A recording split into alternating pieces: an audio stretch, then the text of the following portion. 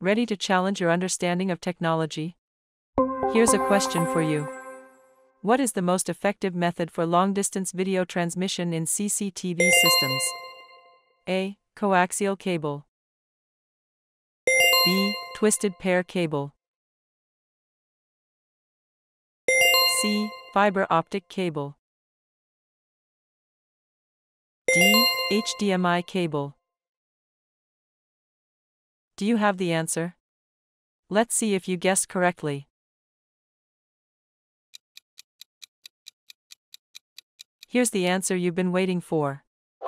Correct answer is C. Fiber optic cable. Fiber optic cables are the most effective solution for long distance video transmission because they transmit data as light signals, allowing for high bandwidth and minimal signal loss or degradation over large distances. They are resistant to electromagnetic interference, ensuring clean and reliable video transmission, making them the preferred choice for extensive CCTV networks.